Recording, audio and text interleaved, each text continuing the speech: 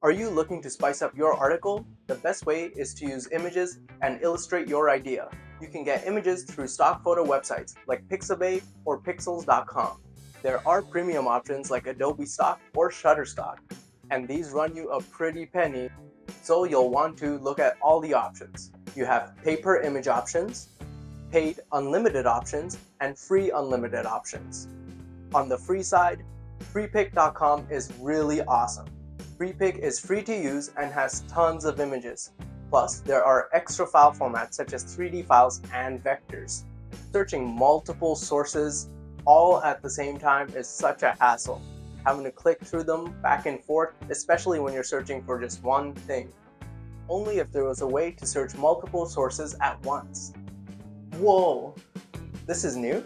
PicFindr lets you browse all the pictures from Pixabay and Pexels.com at the same time. It has categories to help navigate the pictures, and the beauty of this is both sources are filtered at once. No more clicking back and forth between tabs to keep your searches on the same topic. Not only that, you can filter by color or emotion.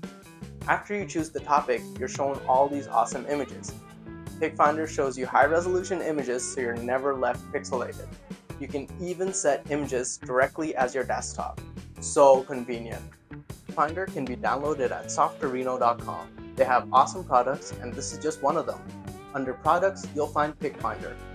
There's a free download button and you can test this awesome product out. And when you try it, you'll like it so much you'll want to keep it forever. And Softorino doesn't skimp on the amount of useful apps you get. When you buy PicFindr, you get access to all the other apps from Softorino. There are great apps like WALTR PRO, SYC Pro, Folder Colorizer, and more. So head over to softorino.com and give PicFindr a try. Let us know what you think down in the comments below. Thanks for watching.